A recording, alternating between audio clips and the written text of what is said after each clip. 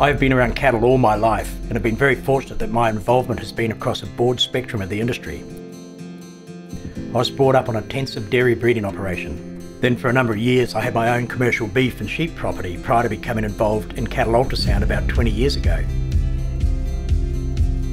This led to the involvement of working alongside many leading progressive cattlemen and involved with their breeding and reproductive programs.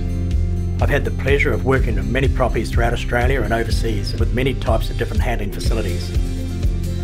I've always strongly believed that in any business, and none more so than the cattle industry, that to remain competitive it requires constant innovation. We must embrace change. Just because we've done something a certain way for 20 years does not necessarily make it right or the best way. All new equipment purchased must improve the bottom line to add value to the business. The industry requires equipment that addresses the decline in experienced labour resources. We need to improve the efficiency of the way we handle large numbers of cattle and with less people. On top of this, we need to improve and display the highest standards in animal welfare practices.